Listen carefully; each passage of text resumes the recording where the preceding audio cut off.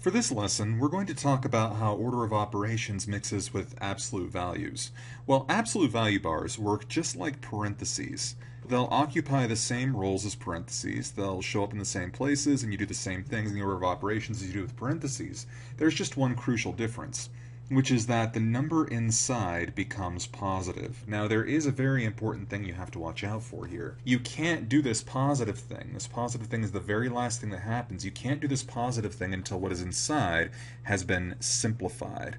If there's a subtraction operation inside, you have to do that first. If there's an addition operation inside, you have to do that first. Even though parentheses are the first step in the order of operations, we don't apply the absolute value where it's relevant until we're taking the absolute value of one and only one number. So let's take a look at example one here. You can see that the absolute value portion is pretty big. We need to make all of that one number. Then, if it's negative, we'll make it positive and go from there. Remember, you just work from the inside out. This inside parenthetical is not an absolute value, so we just add it normally. So we'll just have negative 3 times the absolute value of 2 to the fourth minus, well, 5 plus 4 is 9, so we have 9 squared. Next, we have two exponential expressions, here and here we're just going to take both numbers to the, their powers, and so we'll have negative 3 times the absolute value of 16 minus 81. Now, if you ever feel intimidated by numbers that you need to add or subtract that are positive or negative, remember that you can just do this because these two have the opposite signs. You can just do this as a regular subtraction problem. Just make sure to put the bigger number on top. And you'll see here that this will come out to 11 minus 6 is 5. 7 minus 1 is 6, so you get 65. Well, that's a negative number, so we'll have negative 3 times the absolute value of negative 65. Again, we're taking the absolute value of a negative number. So, this part inside, and only this part inside, becomes positive.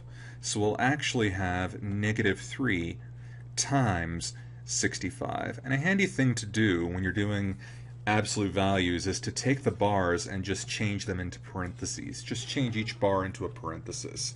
If you do that, you'll get them right every time. This whole thing works out to negative 195. Now the same thing is going to be the case for example 2 over here. So again, we just work from the inside out. We look on the inside there, we have 5 squared minus 6 squared. We can do those two exponents in the same step. Technically you should do 5 squared and then 6 squared, but if they're separated, then it really doesn't matter very much. So we have 2 minus 4 times the absolute value of 3 squared plus 25 minus 36. Then we're just going to do 25 minus 36 because we have that inside parenthetical. That comes out to negative 11. Again, you can do that by hand if you wish. 36 minus 25 is 11. We know 36 is bigger, therefore our answer is negative we'll have 3 squared, 2 minus 4 on the outside. And again, we're just going to simplify the inside here. So we have 3 squared minus 11. Well, remember, we have an exponential operation, then subtraction. The exponent comes first. So we'll have 2 minus 4, 9 minus 11, like that. And again, do not forget your absolute value bars. Whatever you do, don't just ignore the absolute value bars or drop them. If you do that, you'll get the wrong answer every time, so be very careful about that. So now, we just do 9 minus 11. Well, we know that's negative 2, so we'll now have 2 minus 4 times the absolute value of negative 2. We now have our absolute value expression simplified as far as it will go. We're just taking the absolute value of a single number, and again, 2 minus 4 times negative 2.